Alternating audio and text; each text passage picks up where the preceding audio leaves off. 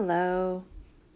I am back with a minimalistic collage process video. Not really a tutorial. You're just going to watch me do it. I usually start in my journal with some mark making. That can be with pen, pencil. This is a paint marker, fluorescent, some of my favorites. Looking at some of my paper stashes that I put together that are on my desk. These are really great because I just do a variety of different things and staple them together and then I can travel with them or whatever. I did find this piece of mail. It was from like a life insurance company and it was for my husband, but I really loved the it was printed on a vellum and it was like a certificate, so I really like that. So I'm going to start with that not really having a plan, but I generally like to start with see through just to create some interest without obliterating the background completely to because I just don't know yet, you know? I don't plan this out. I usually try to veer toward a color theme but that's not planned. But at this point, I'm definitely looking for some words or numbers, what would add some texture both tactilely and visually. So I'm even rooting around in my little junk basket, seeing what I can find.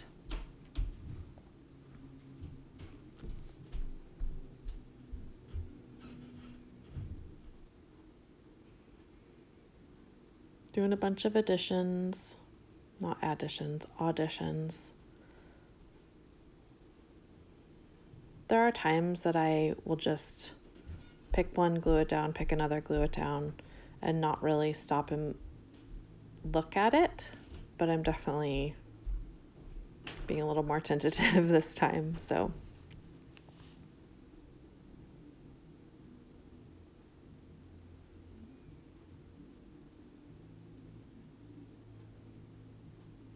I'm feeling at this moment that that is going to be one of the visual elements, kind of that larger letters draws your eye, is what I'm thinking.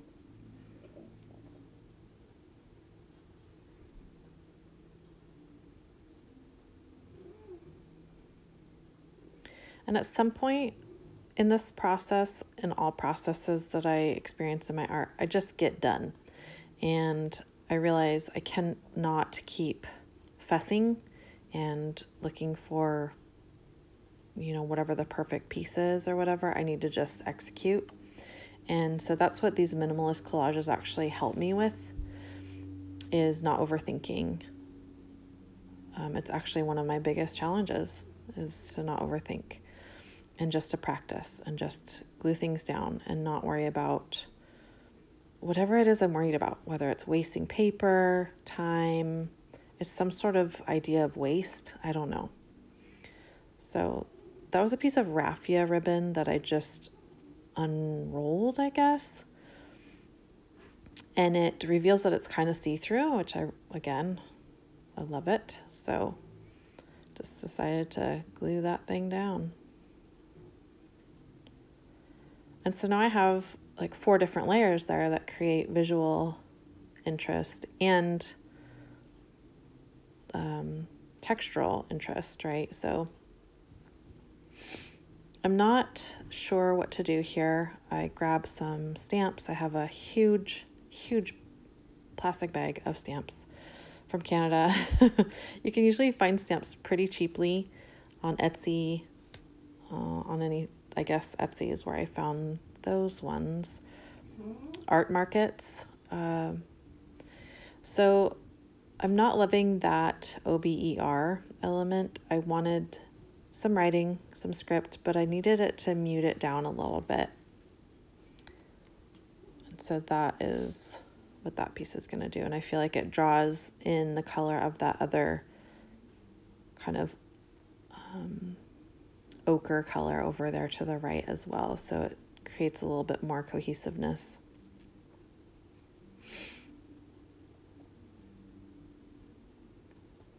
Now I've got the pencil out and just doing a little bit more mark making. I'm feeling like it's just kind of sitting on the page. And so I think that's what I'm thinking about in terms of adding some more marks, maybe adding some shading.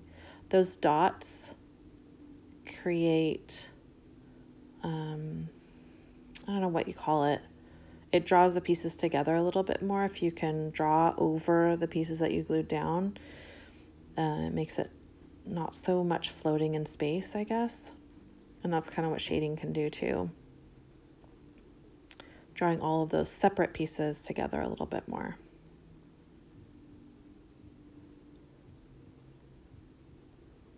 And then I have a Faber-Castell big Pitt pen, just creating some more of that idea of shading, connecting all of those separate pieces into one